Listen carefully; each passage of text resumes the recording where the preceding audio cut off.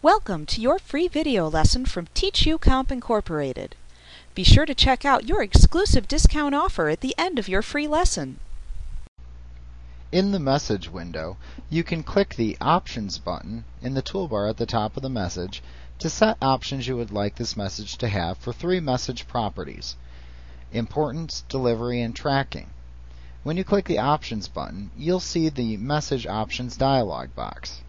In the Message Settings section, you can set the message importance by clicking the drop down arrow at the right end of the Importance text box. You can choose Low, Normal, or High. You can also choose the sensitivity for the message by clicking the drop down arrow at the right end of the Sensitivity text box, and your choices are Normal, Personal, Private, or Confidential. Note that that in no way provides any kind of security or encryption. It just simply selects that information and puts it into the email so that they'll know what kind of message it is. In the voting and tracking options section, you can click the check boxes for any tracking options you want by checking either request a delivery receipt for this message or request a read receipt for this message or both.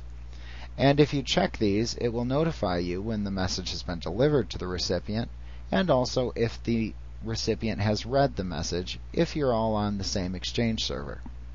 You can also check the Use Voting Buttons option and select to have voting buttons placed in the message from which users can click to respond to a question posed by your email.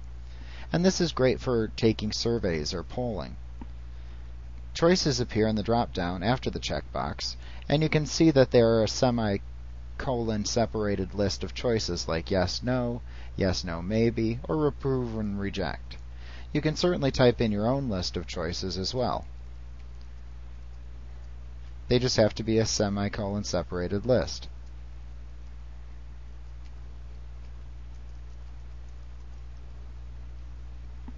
In the delivery options section, if you'd like the replies to your emails sent to someone else's email address, you can check Have Replies Sent To and then put in a different email address in the box to the right. You can click Select Names at the right end of that box to select a different name if you prefer. Also, if you would like to have a copy saved to your sent folder, make sure Save Sent Message is checked. If you don't want a copy saved, you may uncheck it. Also, you can check Do Not Deliver Before and specify a date and a time at which to deliver the message and this can be handy if you're going to input some email and then set it for delivery, let's say while you're on vacation. Also, you can check expires after.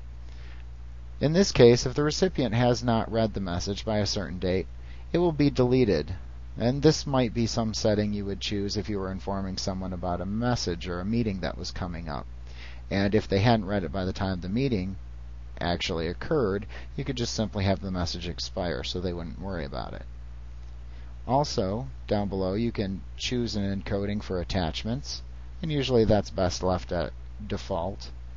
And you can also categorize or associate the message with contacts by clicking either the Contacts button and choosing a contact to associate with this message, or Categories and then checking off the category for the message. And once again, this can help you find the message in the future. At that point, you would just simply click Close after setting your message options. And then, of course, you would address the email and send it to the designated recipient.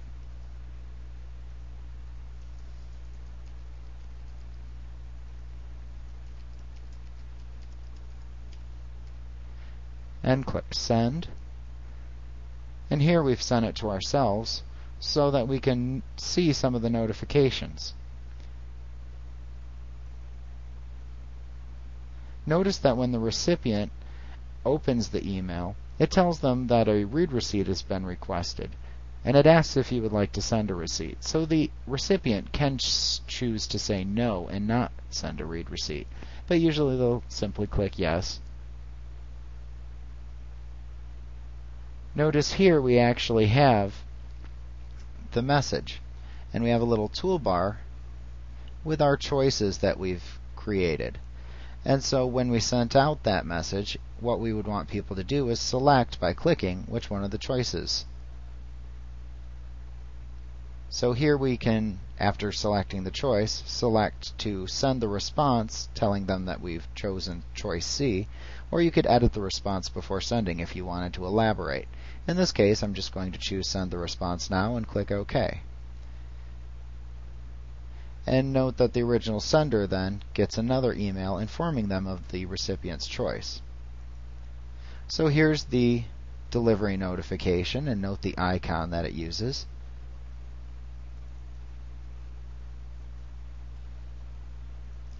You also have a read notification, note its icon.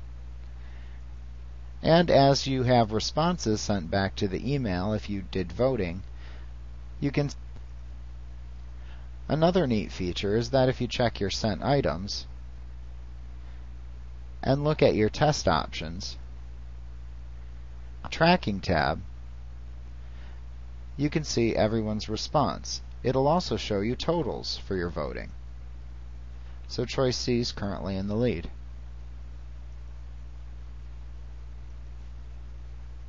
And that's it to setting your message options. Thank you. We hope you enjoyed your free video lesson from TeachUComp Incorporated. Like what you see? Pick up your copy of our complete tutorial today and be sure to visit us at www.teachucomp.com/youtube for your special bonus offer. Our complete tutorial featuring introductory through advanced material is available on CD-ROM or digital download. You will receive our high quality video lessons plus printable instruction manuals in one easy to use training package. With over two dozen titles to choose from, you'll be sure to find the training you need in Microsoft Office, QuickBooks, Photoshop, and much more. Visit us today.